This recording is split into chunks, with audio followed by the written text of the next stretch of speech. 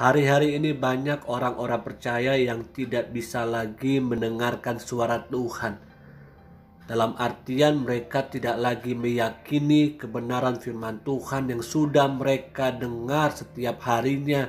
Bahkan setiap hari minggu mereka mendapatkannya di dalam ibadah-ibadah raya mereka di dalam gereja.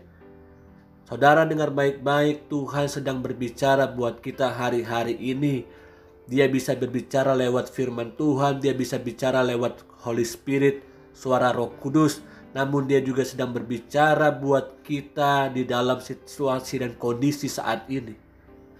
COVID-19 ini jadikan sebuah momentum untuk kita kembali lebih peka mendengar suara Tuhan.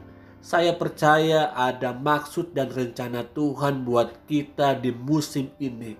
Karena musim ini masih terus terjadi. Musim ini belum berlalu, tapi kebenaran firman Tuhan apa yang kita percayai, apa yang kita yakinkan itu pasti akan terjadi dalam hidupku dan hidupmu. Izinkan Tuhan berkarya di dalam situasi dan kondisi saat ini.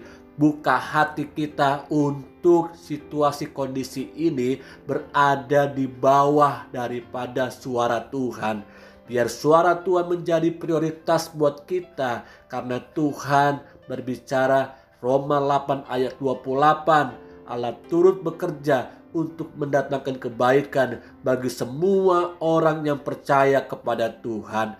Biarlah rencana Tuhan, biarlah firman Tuhan terus pegang, terus yakini bahwa Tuhan tidak pernah meninggalkan kita. Musim ini kita lalui bersama dengan Tuhan. Haleluya. Amin.